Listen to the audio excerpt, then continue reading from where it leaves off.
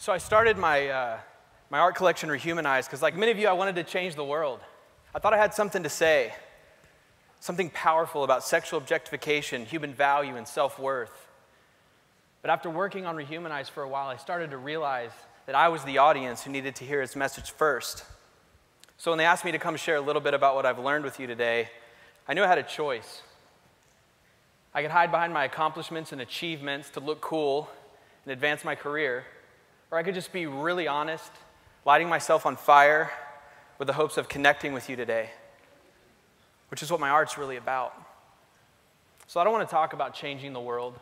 I want to show you how to do it. This is what it looks like to light myself on fire. You might have noticed I have a bald spot in the back of my head. I have an autoimmune disorder called alopecia. Basically, my immune system attacks itself and I lose random patches of hair for no reason. It happens overnight. It's kind of weird. I know it's just hair. I know it's no big deal. And I know how I look doesn't really matter. But then again, what I say I know and what I actually believe is not the same thing, is it? I know it's possible to accept myself with these weird spots on my head, but it's hard. I get uncomfortable and self conscious going out in public without fixing my hair or wearing a hat. I get embarrassed because I don't really believe that how I look doesn't matter. So, my alopecia is a constant reminder and invitation for me to stop putting so much value and self worth in how I look. It's a daily opportunity for me to accept myself just as I am, bald spots and all, or something like that.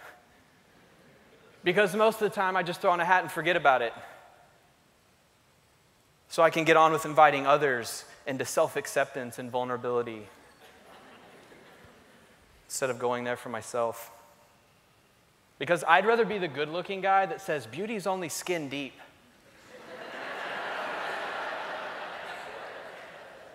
I want to be the accomplished artist who says just daring enough to put yourself out there, not getting recognized, that's what matters. I want to be the guy who has it all so I can tell everyone else that life is about more than having it all.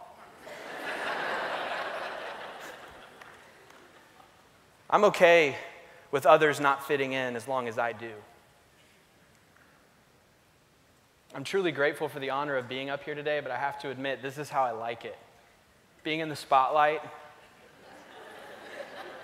so I can tell others who aren't in the spotlight that being in the spotlight doesn't really matter. It's as if I want to take a stand against the status quo while fitting into the status quo just to cover my bases. Seriously, I want to change the world by lighting the way for others with a flamethrower, lighting them on fire, right? Instead of myself. Because it's so much easier to be peddlers of change than it is to let change hit home in our own lives. To be tourists on a landscape of self worth and enoughness trying to sell others a brand of belonging and acceptance that we've yet to buy for ourselves. But the thing is, if we want to change the world, if you want to light the way for others, you got to light yourself on fire first. I've had a really successful career. I've worked with some incredibly talented people. I've experienced wealth and power and fame and everything that comes with that. I'm super competitive, and I like to win. But the thing about all of my winning and competing is that it wears me out. It's an endless and exhausting cycle of trying to prove myself, to prove I'm acceptable, to prove I'm enough, to prove I fit in. But the problem with this kind of fitting in, this type of inclusion, is that it requires the exclusion of others. In order for me to fit in, others can't, which sucks because inclusion by exclusion is also the lifeblood of racism, partisan politics, and fundamental religion. Exclusivity demands I must fight to stay on top. And staying on top is exhausting. After years of staying on top, I finally burnt out in 2008. I walked away from unprecedented success at the peak of my career. My wife and I sold everything, and we lived in a camper for a year. A year of travel might sound like an easy thing for most of you, and fair enough. But for someone so wrapped up in what I did as the source of my worth, not doing anything was disorienting. It wrecked me. I wrestled with a constant sense of inadequacy. I wasn't able to separate who I was from what I did. It was a painful process and one that didn't end with a neat little bow tied around it when we got back. I still struggle with bouts of insecurity, inadequacy, self loathing. We all do. It's easier for me to receive love and acceptance from others as long as I feel like I'm earning, achieving, or deserving it. But that paradigm poisons the way I see myself and those around me. Which brings me to a really interesting thing that happened to me at a party last year, a life defining moment. We were all hanging out, and I decided to go streaking. As you do. so I ran around naked for a while, and then I jumped in the river, and everyone was laughing, and it felt good. And I was having a lot of fun until some idiot yelled, That is a small penis!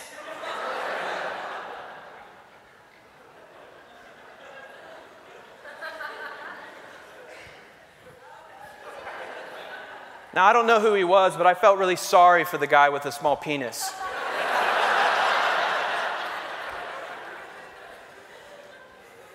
I tried to play it off, but I couldn't help but wonder was it true? Few things hurt like being literally or figuratively naked, daring enough to be yourself, only to have someone pretty much say, Hey, you don't have what it takes. Who do you think you are? And worse, it came from someone sitting fully clothed on the sidelines. Right? Revealing our human nature to choose spectating over participating. I think one of the prevalent misconceptions in our culture is that criticizing is the same as participating. It's not the same thing. I don't think blasting religious and political posts on Facebook is taking the stand we think it is for whatever we believe in. In fact, I think it might literally be the very least we can actually do to participate in our lives. Preach!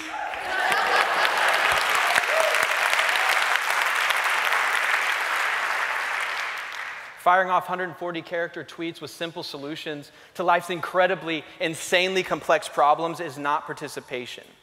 It's spam advertising for our arrogant ignorance and inability to meaningfully connect with each other.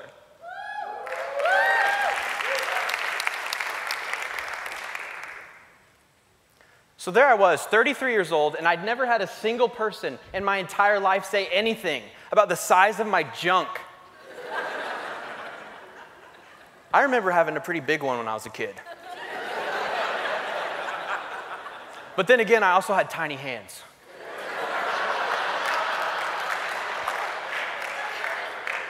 I had to know if I measured up. So I looked up the average penis size online. And as I took out a yardstick to measure myself, there it is. The reality of the situation hit me. This was going to be a paradigm shifter.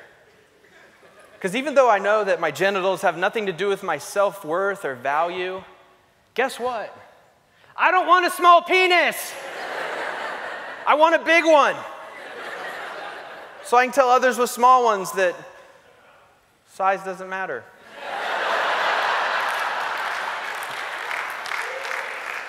Like I said before, I want to I want to measure up before I tell others it's okay for them not to. As if to say, it's okay if you don't have what it takes. I've got enough of what it takes for both of us. so, as I measured myself, as many of you men will be doing tonight,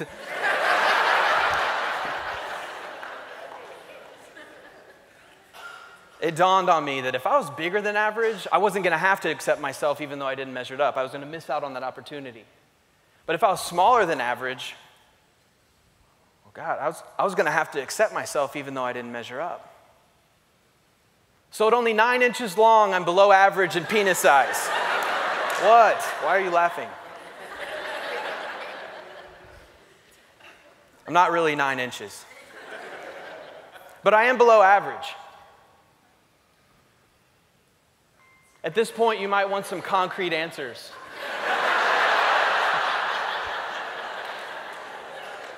By the way, I will be at the after party, and yes, you do want to party with me.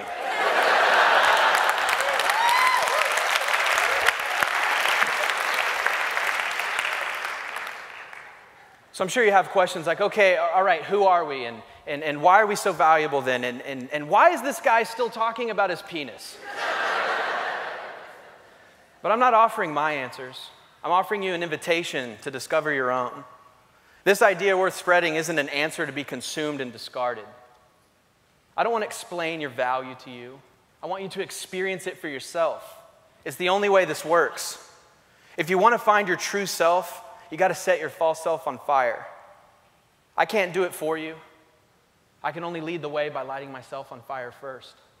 I'm inviting you to dive inward instead of outward, to find intrinsic worth instead of external affirmation. I'm welcoming you into your inherent enoughness to discover a self worth that connects us all together and a profound sense of sameness without discrediting our incredible uniqueness. Because we're all incredibly unique and special, just like everybody else. Oh, and if being unique and special, just like everybody else, sounds absurd and it pisses you off, you're on the right track. It pisses me off too. Because when you realize this isn't something you can earn or achieve, your inner earner and achiever is gonna get upset. But the part of you that knows you can't stay on top forever is gonna be able to breathe again. With great resistance comes great relief. My idea worth spreading is that we're lucky when we don't measure up, when we don't fit in, when we don't have what it takes, because then we have a chance to uncover who we really are. It's our weakness and failures that show us how perfectly we fit in when we refuse to measure our self worth and sense of belonging against the poisonous paradigm of earning, achieving, and fitting in. Sometimes, if you want to find out who you really are, you got to get real clear on who you aren't. We're human beings, not human doings. So if your boobs are too small, or your butt's too big, or your butt's too small and your boobs too big, or whatever society's telling you isn't enough about you, you're welcome to explore what it really means to be enough. If some idiot says you have a small penis, or if your freaking hair's falling out for no reason, or if people think you're a weirdo for being a little too honest in your talk today.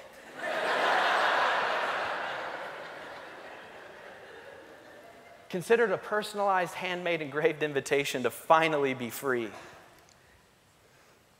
You've hit the jackpot when you're at the end of your rope, hitting rock bottom with nothing left to lose, because it's only when you've lost it all that you can see how much you really have and how valuable and enough you've been all along.